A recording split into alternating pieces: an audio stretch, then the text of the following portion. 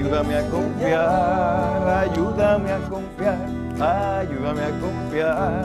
Estoy cantando. Bienvenidos una vez más a tu espacio Vivencias de Fe.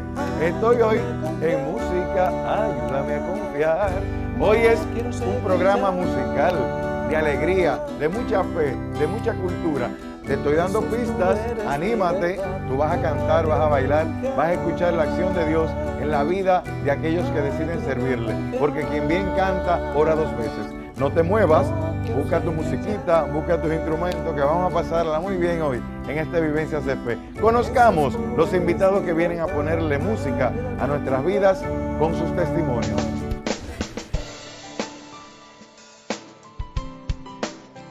Canten al Señor un canto nuevo, canten al Señor toda la tierra. Nos invita un salmo de alegría y de fe. Pero hoy han venido a testificar Juan Carlos y Ángela, una pareja de esposos que tienen un ministerio, vienen a decirte que la cultura, no hay mejor cultura que vivir la fe. Cultura de Fe, un ministerio donde con música, con cantos, con testimonios y alabanzas queremos invitarte a que te encuentres, a que le cantes, a que confíes a que te ayudes a confiar en ese que fue y será al alfa y al omega, el principio y el final. Con ustedes, Cultura de Fe. Disfrútalo.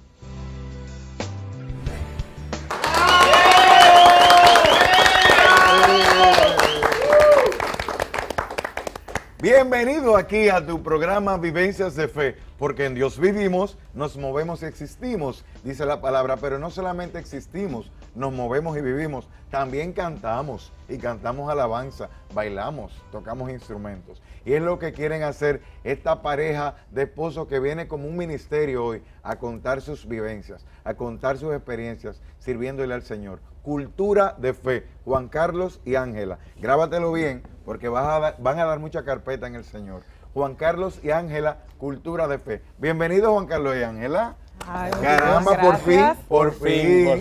No porque ustedes se me estuvieron cotizando ni difícil, pero teníamos mucho por traerlos aquí y las circunstancias no habían podido ser por, porque todo se hace en el tiempo de Dios. Amén. Cultura de fe.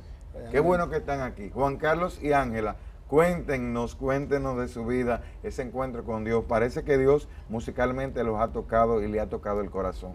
¿Qué es eso de cultura? ¿Qué es eso de cultura de fe? Cultura de fe lo que persigue es hacer que las personas tengan esa vivencia con Dios, ese acercamiento con Dios, que aprendan a esperar en Dios, a esperar en el Señor, que como en las instituciones vemos que hay cultura institucional, de que hay la misión, la visión Entonces, ¿qué queremos crear con cultura de fe? De que la confianza la centren en Dios, es la única. La, la, confianza la centren en Dios, que es la única esperanza. Y tú, Ángela, tú no te has querido quedar atrás como mujer joven, como una mujer que te has encontrado con Dios en tu vida, un Dios que no está allá, pero tú le cantas. ¿Qué cultura de fe para ti? Amén, así es.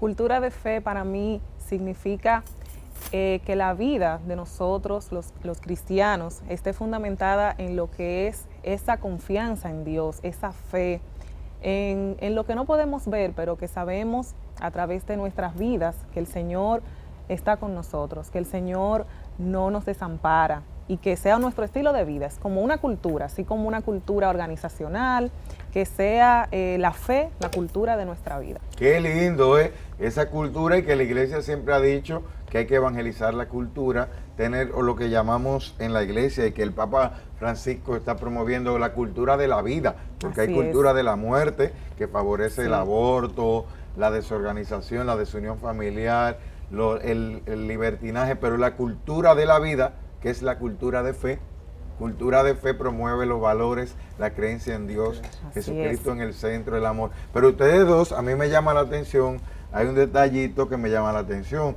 El, ministerio, este ministerio de música que canta con tan bonito, cultura de fe, se llevan muy bien los miembros de este ministerio, se llevan tan bien que hasta están casados. Qué bien se llevan ustedes dos, ¿eh? Ustedes se llevan muy bien. Entonces, una pareja joven que, su ministerio lo hacen juntos. Entonces, ¿cómo, cómo surge esto? Eh, se casaron después, del, después que el ministerio se conocieron antes. ¿Cómo Juan Carlos y Ángela eh, abrazan su fe cada uno de manera individual. Cuéntenos, cuéntenos sobre eso. Bueno, mira, de verdad a mí desde pequeña me ha gustado cantar. Vengo de una familia donde músicos, hay muchos músicos. Me orejearon que los moretas son muy musicales. Así es. Que les gusta la música. Así es, René. Incluso mi papá me grababa a mí cantando pequeñita. Lo que yo no sabía es que Dios me tenía esa sorpresa en la vida, que me iba a unir a un joven que conocí en la misma iglesia que yo decía, wow, qué lindo canta ese muchacho cuando yo iba a la misa. Y terminó siendo mi esposo. ¿Qué te parece? Caramba, esto es tan musical que ya la melodía va avanzada. Así es. O sea, sirviendo, tú ibas a la iglesia y, y, y en, la, en, en tu crianza, Ángela, ¿tuviste ya alguna, te mostraron, hubo lenguaje, códigos de fe en tu familia o, o lo conociste ya, ya adulta? No, claro que sí. De hecho, me llevaban desde pequeñita, me llevaban a la iglesia.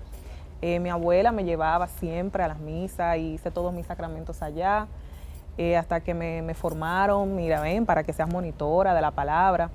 Eh, luego pasé al grupo de los jóvenes y luego... ¿Y qué hacías como monitora de la palabra? Oh, siempre proclamarle, estaba siempre ahí al lado del sacerdote y le doy gracias a Dios por todo lo que fui conociendo, aparte de que Dios viene haciendo eh, obras en mi vida desde pequeña. Desde pequeña fui experimentando que el Señor existe de verdad. Me sanó de muchísimas cosas. Mira, tengo un testimonio muy, muy bueno de que gracias a Dios, mi primera experiencia sí la tuve cuando en un retiro con el padre Emiliano Tardif, recuerdo ahí en el colegio Quisqueya, y yo sufría de asma, René. Y me acuerdo yo que a partir de ese retiro yo salí sanada. Saliste sanado. Así es. Como dicen, como se dicen cuando Dios actúa, dicen sin explicación médica. Así, Así, es. así siempre dicen. Eh, te, te curaste del asma, o sea que el Señor te puso, te eh, esos pulmones te los llenó de aire para que cantaras es. para Él. Y te limpió. Entonces tuviste ese encuentro y Dios te ha venido sanando. ¿Qué, qué, qué diferencia hay? Eh, cual- una mujer que te está escuchando ahora o la que le gusta cantar y le cantan al amor, le cantan a la vida, cantan bachata, cantan merengue y tú le cantas al Señor. Qué bonito. ¿Qué tú le puedes decir a, a- a una mujer joven, así como tú, eh, profesional, de, de la ventaja de encontrarse con Jesucristo y de, y de servirle? ¿Se aburren? Eh, eh, eh, ¿qué- ¿De qué te ha sanado el Señor más? Mira, hay incluso una, una frase muy linda de la Biblia que dice, no escondas tus talentos y ponlos al servicio del Señor. ¿Cuántas personas que cantan, que, que bailan, que actúan, que saben leer? Hay muchísimos, muchísimos eh, puestos pues, que se pueden aplicar en lo que es el ministerio. Y de verdad, a la mujer joven, de- desde la juventud, es lo más bonito que tú puedes entregarle al Señor porque Él te va a ir dando esa felicidad a través de tu vida completa. Y lo decimos por fe. Y sirviéndole al Señor, pues, pues has encontrado una vocación de servicio Así es. y no estás sola tampoco. Eso que, que el que le sirve al Señor se queda. No. Que dicen en la calle, si vas a la iglesia, si estás en la iglesia te, te vas a quedar. Como tú no, tú no te has quedado para Claro, nada. claro que no. Hasta, mus- hasta un músico te puedes tú encontrar en el Señor ¿eh? y, can- y vivir la es. cultura de la fe. Entonces Dios te sanó del alma, Dios te, ha- te alimentó tu corazón y esa música que trajiste de los Moretas en ADN la tienes de Dios. Yo quisiera que antes de irnos a la pausa, en una frase le digas algo a los Moretas en el nombre de Jesús, a esa familia musical. ¿Qué tú le quieres decir a tu familia en el nombre del Señor? Eso no está, eso, no está ensayado, ¿no? Wow, de verdad, eh, a mi familia que, que los amo. Que de verdad lo que hoy soy, todos los valores eh, que tengo, la educación, todo ese amor, ellos me lo inculcaron. Y de verdad que Dios me le dé siempre esa bendición a mi Esa familia. bendición, esos valores que me han inculcado. Al regreso seguimos hablando de cultura de fe. Juan Carlos y Ángela cantando, seguimos cantando aquí, seguimos diciendo, ayúdame a confiar, ¿verdad que sí? No te muevas.